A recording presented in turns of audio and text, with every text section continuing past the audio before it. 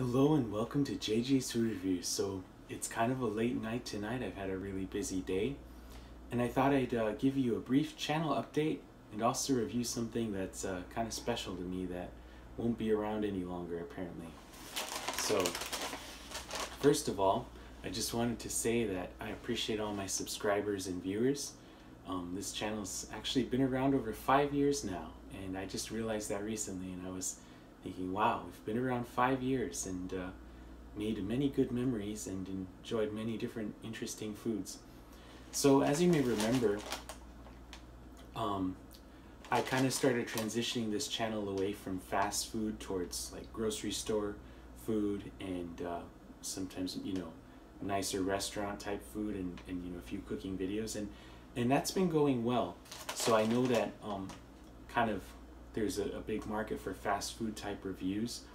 But if, if you know some of my older viewers um, been around with me for a while will remember about a couple years ago for about a year um, I had a few trips to the hospital just different things going on with uh, I don't like to get too much into health information but you know just some liver stuff and uh, cardiovascular stuff and and uh, obviously alcohol is off the list but um, there's also things like fried foods that I'm not supposed to really eat a lot of. So I mentioned, you know, in an update, I said I'm not going to be doing a lot of, uh, you know, fried food reviews, fast food reviews like I used to. I'm kind of going to transition to healthier stuff. So the good news is I've been uh, I've been doing pretty well health wise, and uh, it's been a it's it's been good. It's been a blessing. I'm I'm very happy with my health, and I'm going to continue uh, transitioning more towards the healthy foods. So you're probably not going to see much fast food review stuff from me anymore, but the channel's going to go on and I'm still going to review other stuff. But I just wanted to be upfront about that. Um, the transition is pretty much complete now.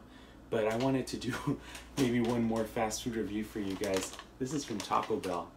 And I just found out, you know, like I said, I haven't had much fast food lately, and I didn't know it's been this way for a couple months now, but they don't make the seven layer burrito anymore. And that's something I remember when it came out back in the back sometime in the 90s. And I, I told I, I told people I can't believe they took that away. But uh, you know, I thought I'd review it one more time just for old time's sake since it's gone now, but they made it special just for me because I'm JJ. So anyway, other than that, uh, things have been pretty good. Um, got a lot of irons in the fire. And uh, as you may remember when I started this channel, um, living back at home with my family, uh, out on the peninsula, and uh, I was working in fast food. I actually started this channel on a road trip. Uh, my brother and I had the idea to start it up because I watched a lot of food reviews uh, for a few years. Uh, they've really been something I kind of find relaxing, and I'm interested in food and culinary stuff. I'm no chef, but you know what I mean. And so I was working in fast food, started up this channel, um, ended up having several uh, food-related cooking type jobs in hospitals, also uh, you know ch- uh, cooking Chinese food. That was that was a lot of fun. And I've recently been transitioning into a new career path, more into the logistics type stuff. I'm still a blue collar guy. It's all good. Probably have a new gig in the works that will be taking me back up to Seattle my old my old stomping grounds. That should be pretty cool. But anyway, things have been good. I'm glad you're along for the ride. So let's go ahead and try this seven layer burrito. So that seven layer burrito was really good, and that's a taste that I have missed. Um, it's really too bad Taco Bell decided to get rid of that. Apparently they're moving more towards uh, meat flavored options and away from vegetarian options, but uh, I wouldn't consider myself a vegetarian by any stretch but I really do enjoy my veggies, and uh, veggies are good for you. They're healthy. What can I say? I think it's a bit of a letdown that they got rid of that. Seven layer burrito was very good. It has beans, um, guacamole, sour cream, rice. You know, like the good Spanish rice. Um, you know, it's got uh, that's four layers. It's got tomatoes, uh, cheese. This is six, and then I think onions is seven. So it's not on the level of something you get a fine dining experience, but it was good. It was probably one of my favorite items from Taco Bell. That along with a spicy tostada, which sadly is gone as well. So anyway, farewell to the seven layer burrito. It was good while it lasted. And all good things, I guess.